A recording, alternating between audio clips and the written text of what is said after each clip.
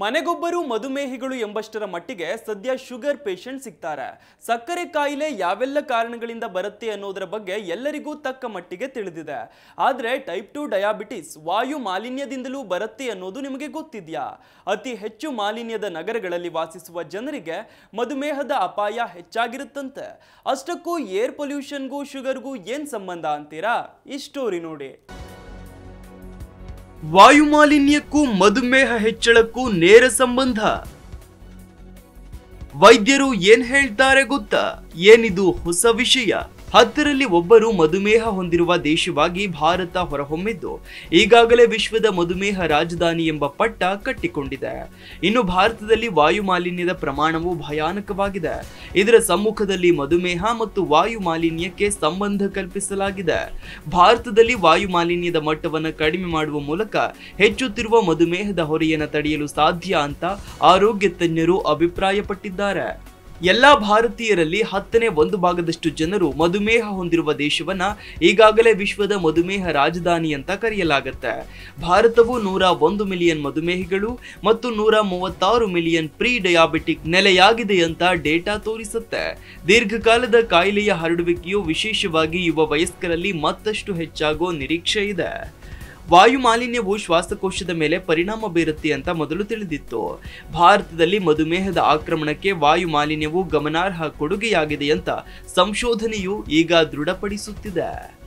ಇತ್ತೀಚಿನ ಲ್ಯಾನ್ಸೆಟ್ ಅಧ್ಯಯನವು ಜಾಗತಿಕವಾಗಿ ಟೈಪ್ ಟು ಡಯಾಬಿಟಿಸ್ ಬಾಧಿತರ ಪೈಕಿ ಶೇಕಡಾ ಇಪ್ಪತ್ತರಷ್ಟು ಬಾಧಿತರು, ಟೂ ಪಾಯಿಂಟ್ ಫೈವ್ ಮೈಕ್ರೋಮೀಟರ್ಗಳು ಅಥವಾ ಅದಕ್ಕಿಂತ ಕಡಿಮೆ ವ್ಯಾಸದ ಕಣಗಳ ಮ್ಯಾಟರ್ಗೆ, ಅಂದ್ರೆ ಪಿಎಂ ಮಾಲಿನ್ಯಕ್ಕೆ ದೀರ್ಘಕಾಲದಿಂದ ಒಡ್ಡಿಕೊಳ್ಳುವುದರಿಂದ ಬರುತ್ತೆ ಅಂತ ತೋರಿಸಿದೆ. ಸುಮಾರು ಹದಿಮೂರು ಪಾಯಿಂಟ್ ನಾಲ್ಕು ಪ್ರತಿಶತ ಟೈಪ್ ಟು ಡಯಾಬಿಟಿಸ್ ಪ್ರಕರಣಗಳು ಪಿಎಂ ಟೂ ಪಾಯಿಂಟ್ ಫೈವ್ ಪ್ರಮಾಣದ ಮಾಲಿನ್ಯದಿಂದ ಸೃಷ್ಟಿಯಾಗ್ತಾ ಇದ್ದು, ಆರು ಪಾಯಿಂಟ್ ಐದು ಪ್ರತಿಶತ ಪ್ರಕರಣಗಳು ಮನೆ, ಅಂದರೆ ಗೃಹವಾಯು ಮಾಲಿನ್ಯದಿಂದ ಸೃಷ್ಟಿಯಾಗ್ತಿವೆ ಅಂತ ಅಧ್ಯಯನದಿಂದ ತಿಳಿದು ಬಂದಿದೆ. ಮ್ಯಾಕ್ಸ್ ಹೆಲ್ತ್ ಕೇರ್ನ ಎಂಡೋಕ್ರೈನಾಲಜಿ ಮತ್ತು ಡಯಾಬಿಟಿಸ್ ವಿಭಾಗದ ಪ್ರಕಾರ ಮಾನವನ ಕೂದಲಿಗಿಂತ ಮೂವತ್ತು ಪಟ್ಟು ತೆಳ್ಳಗಿರುವ ಪಿಎಂ ಟೂ ಪಾಯಿಂಟ್ ಫೈವ್ ಪ್ರಮಾಣದ ಮಾಲಿನ್ಯವು ಟೈಪ್ ಟು ಡಯಾಬಿಟಿಸ್ನ ಅಪಾಯವನ್ನು ಹೆಚ್ಚಿಸುತ್ತೆ ಅನ್ನೋ ಮಾಹಿತಿ ನೀಡಲಾಗಿದೆ. ಈ ಅಲ್ಪ ಪ್ರಮಾಣದ ವಾಯು ಮಾಲಿನ್ಯಕ್ಕೆ ಕೇವಲ ಒಂದು ತಿಂಗಳುಗಳ ಕಾಲ ಒಡ್ಡಿಕೊಂಡರೂ ಸಹ ಇನ್ಸುಲಿನ್ ಪ್ರತಿರೋಧದ ಅಪಾಯ ಹೆಚ್ಚಾಗುತ್ತೆ ಮತ್ತು ಮಧುಮೇಹವನ್ನು ಕೂಡ ಹೆಚ್ಚಿಸಬಹುದು. ಇನ್ನು ದೀರ್ಘಕಾಲದವರೆಗೆ ಒಡ್ಡಿಕೊಳ್ಳುವುದರಿಂದ ಮಧುಮೇಹದ ಅಪಾಯವು ಶೇಕಡ ಇಪ್ಪತ್ತರಷ್ಟು ಹೆಚ್ಚಾಗತ್ತೆ ಅಂತ ಎಚ್ಚರಿಸಲಾಗಿದೆ. ಭಾರತದಲ್ಲಿ ವಾಯು ಮಾಲಿನ್ಯದ ಮಟ್ಟವು ವಿಶ್ವದಲ್ಲೇ ಅತಿ ಹೆಚ್ಚು. ಎರಡ್ ಸಾವಿರದ ಇಪ್ಪತ್ತ್ ಮೂರರ ವಿಶ್ವ ವಾಯು ಗುಣಮಟ್ಟ ವರದಿಯ ಪ್ರಕಾರ ಬಾಂಗ್ಲಾದೇಶ ಮತ್ತು ಪಾಕಿಸ್ತಾನದ ನಂತರ ಭಾರತವು ಜಾಗತಿಕವಾಗಿ ಮೂರನೇ ಅತ್ಯಂತ ಕಲುಷಿತ ಮಾಲಿನ್ಯಯುತ ರಾಷ್ಟ್ರವಾಗಿದೆ. ಆದ್ದರಿಂದ ವಿಶ್ವ ಆರೋಗ್ಯ ಸಂಸ್ಥೆಯು ಡಬ್ಲ್ಯೂಎಚ್ಒ ಪ್ರತಿ ಘನ ಮೀಟರ್ಗೆ ಐದು ಮೈಕ್ರೋಗ್ರಾಂನಷ್ಟು ಪಿಎಂ ಟೂ ಪಾಯಿಂಟ್ ಫೈವ್ ಒಪ್ಪತಕ್ಕದ್ದು ಅಂತ ಶಿಫಾರಸು ಮಾಡಿದೆ. ಆದರೆ ದುರಾದೃಷ್ಟಕರ ಅಂದರೆ ಭಾರತದಲ್ಲಿ ಅದರ ಪ್ರಮಾಣ ಸರಾಸರಿ ಐವತ್ತು ಆಗಿದೆ. ಹಾಗೆಯೇ ಕೆಲವು ನಗರಗಳಲ್ಲಿ ಇದು ಇನ್ನೂ ಹೆಚ್ಚಾಗಿದೆ ಅಂತ ವೈದ್ಯರು ಆತಂಕ ವ್ಯಕ್ತಪಡಿಸಿದ್ದಾರೆ. ಶ್ವಾಸಕೋಶದ ಮೇಲೆ ವಾಯು ಮಾಲಿನ್ಯನ ಪರಿಣಾಮ ಬೀರುವುದನ್ನ ಈಗಾಗಲೇ ಚೆನ್ನಾಗಿ ದಾಖಲಿಸಲಾಗಿದೆ.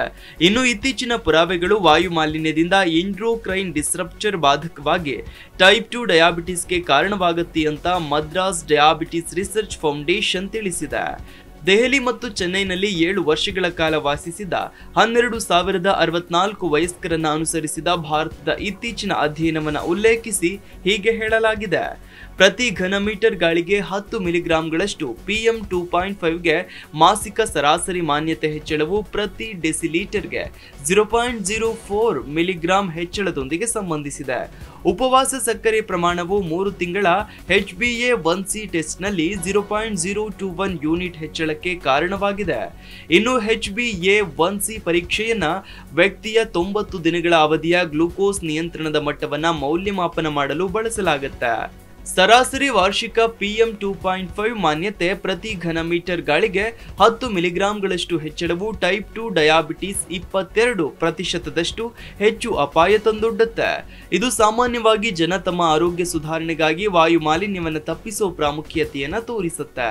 ಮತ್ತು ನಿರ್ದಿಷ್ಟವಾಗಿ ಟೈಪ್ ಟು ಮಧುಮೇಹವನ್ನು ತಡೆಗಟ್ಟುವಲ್ಲಿ ನೆರವಾಗಬಲ್ಲದು ಅಂತ ಮಧುಮೇಹ ಶಾಸ್ತ್ರಜ್ಞರು ವಿವರಿಸಿದ್ದಾರೆ. ವಾಯು ಮಾಲಿನ್ಯದ ಮಟ್ಟವನ್ನ ನಿಗ್ರಹಿಸುವ ಮೂಲಕ ಮಧುಮೇಹ ಪ್ರಕರಣಗಳ ಹೊಸ ಆಕ್ರಮಣವನ್ನು ತಡೆಗಟ್ಟಲು ಸಾಧ್ಯವಾಗುವ ಮುನ್ನೆಚ್ಚರಿಕಾ ಅಂಶಗಳಲ್ಲಿ ಒಂದಾಗಿದೆ ಅಂತಲೂ ಕೂಡ ತಜ್ಞರು ಗಮನಿಸಿದ್ದಾರೆ.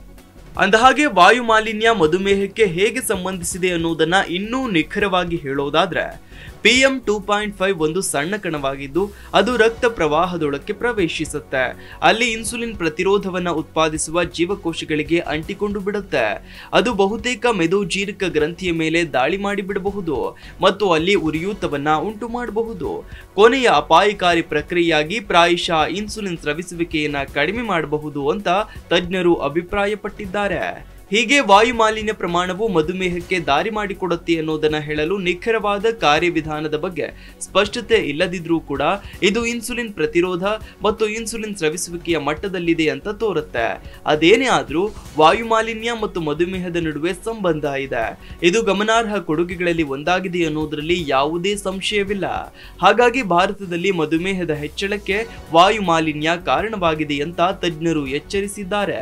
ದೇಶದಲ್ಲಿ ಹೆಚ್ಚುತ್ತಿರುವ ಹೃದಯ ರಕ್ತನಾಳದ ಸಮಸ್ಯೆಗಳ ಹಿಂದೆ ಕಳಪೆ ಗಾಳಿಯ ಗುಣಮಟ್ಟವೂ ಪ್ರಮುಖ ಅಂಶವಾಗಿ ಹೊರಹೊಮ್ಮುತ್ತಿದೆ ಅಂತ ಇದೇ ವೈದ್ಯರು, ತಜ್ಞರು ಗಮನಿಸಿದ್ದಾರೆ. ಮಧುಮೇಹ, ಹೃದಯದ ಅಪಾಯ ಮತ್ತು ವಾಯು ಮಾಲಿನ್ಯದ ನಡುವೆ ಬೆಳೆಯುತ್ತಿರುವ ಸಂಪರ್ಕದ ನಡುವೆ ನಮಗೆ ಶುದ್ಧ ಇಂಧನ ಮತ್ತು ಮಾಲಿನ್ಯ ನಿಯಂತ್ರಣ ನಿಯಮಗಳ ಅಗತ್ಯವಿದೆ ಅಂತ ತಜ್ಞರು ಅಭಿಪ್ರಾಯಪಟ್ಟಿದ್ದಾರೆ. ಈ ಅಪಾಯವನ್ನು ತಡೆಗಟ್ಟುವಲ್ಲಿ ನಗರಗಳಲ್ಲಿ ಹೆಚ್ಚಿನ ಹಸಿರು ಸ್ಥಳಗಳು ಸಹಾಯ ಮಾಡಬಲ್ಲವು. ಮಾಸ್ಕ್ಗಳು ಮತ್ತು ಏರ್ ಪ್ಯೂರಿಫೈಯರ್ಗಳು ಸ್ವಲ್ಪ ಸಹಾಯ ಮಾಡಬಲ್ಲದು. ಆದರೆ ಪ್ರತಿಯೊಬ್ಬರೂ ಶುದ್ಧೀಕರಣವನ್ನು ಪಡೆಯಲು ಸಾಧ್ಯವಿಲ್ಲ. ಈ ಕುರಿತಾದ ಸಾರ್ವಜನಿಕ ಶಿಕ್ಷಣವು ಪ್ರಮುಖವಾಗಿದೆ. ಜೊತೆಗೆ ಸರ್ಕಾರ, ಉದ್ಯಮ ಕ್ಷೇತ್ರಗಳು ಮತ್ತು ಸಮುದಾಯಗಳು ಒಟ್ಟಾಗಿ ಕೆಲಸ ಮಾಡಬೇಕಾದ ಅಗತ್ಯ ಹೆಚ್ಚಾಗಿದೆ ಅಂತ ತಜ್ಞರು ಅಭಿಪ್ರಾಯಪಟ್ಟಿದ್ದಾರೆ.